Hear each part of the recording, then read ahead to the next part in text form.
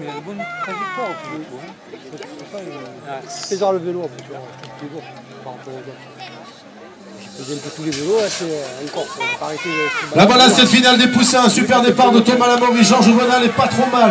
Alors que euh, Sainte-Maxime est aussi encore très bien avec euh, Marlès Kenazi. Victor Loinet est revenu à la troisième position pour l'instant, la deuxième place pour Léo Humblay, le pilote Avignon les Angles, mais toujours la première position pour euh, Thomas Lamori. Victor Loinet qui grignote une place au pilote Avignon les Angles. Avignon les Angles, ils sont troisième et quatrième.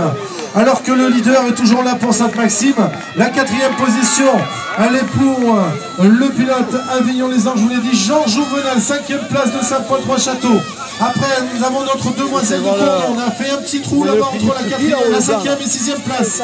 Mais la première place, eh bien, avec quelques longueurs d'avance, elle revient bien au numéro 28, Thomas Lamori, devant Victor Moinet, Sainte-Maxime, vainqueur devant Bernard Fontaine et Avignon les Angles. Tu tu les années avec eux, puis ça fait noir, on construit, et ben, euh, donc tu vois bien la salissure. Dommage pour euh, Léo, qui a perdu euh, quelques mètres. Et place dans les, euh, de super bonne réputation. Dernière ligne droite, les poussins 2